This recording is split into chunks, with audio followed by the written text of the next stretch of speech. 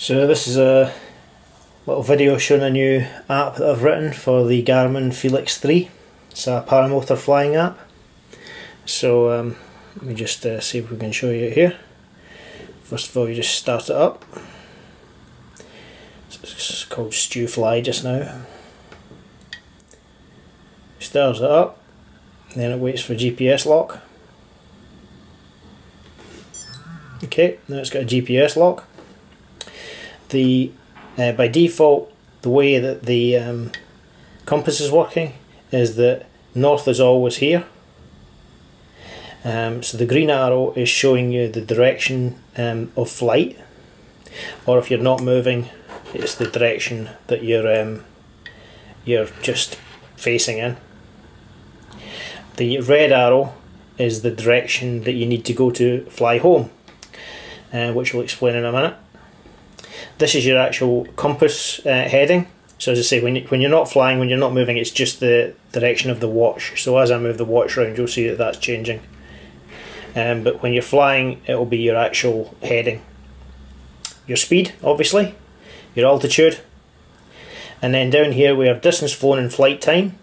So um, once you once it uh, detects that you've taken off, um, it starts to count the distance that you've flown. Um, and the time that you've flown from.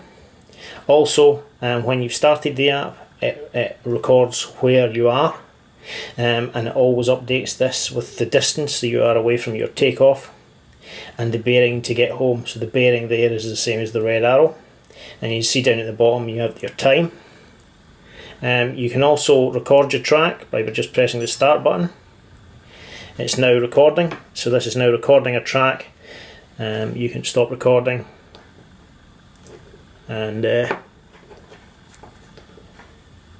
if you want to um, and when you start that will start a new track.